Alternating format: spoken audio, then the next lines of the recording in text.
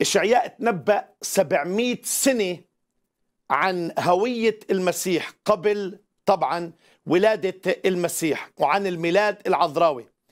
النبي ميخا بيتكلم بيتنبأ عن هوية المسيح وعن أزلية المسيح.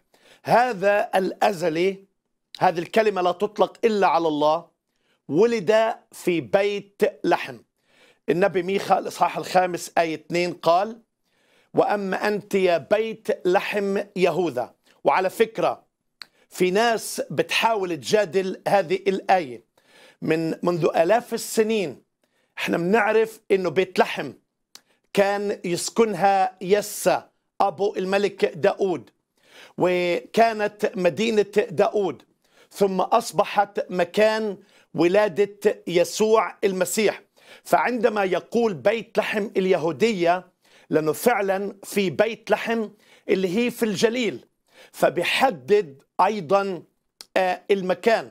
كما يقول مثلا قانا الجليل حتى يحدد الفرق عن قانا اللي موجودة في فينيقيا اللي هي موجودة في لبنان. وهذا إن دل على شيء بدل أحبائي إنه هذه النبوات مش تكهن إنك تخمن وين المكان أو ما تعرفش. أماكن محددة موجودة مكتشفة حتى يومنا هذا.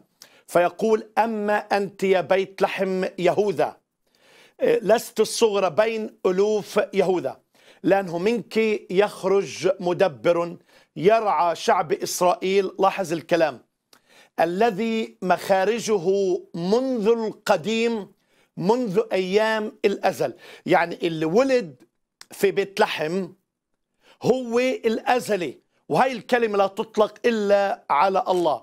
وهون أحبائي بنشوف فعلا مثل ما المسيحيين بيؤمنوا إن المسيح إنسان كامل وإله كامل أيضا. كإنسان ولد في بيت لحم وطبعا كإله هذا الذي ولد هو الإله الأزلي.